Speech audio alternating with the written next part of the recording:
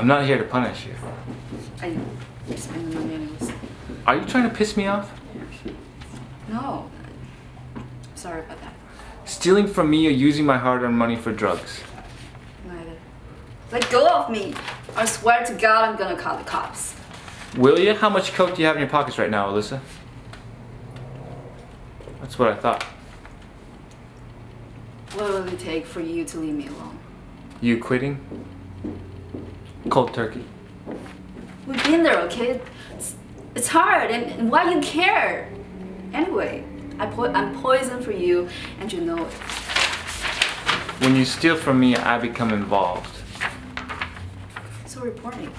Let them take me away like my mom. And lock me up so you don't have to worry about me anymore. You're stronger than this. If I thought you weren't, I would have done that a long time ago. You think I'm strong.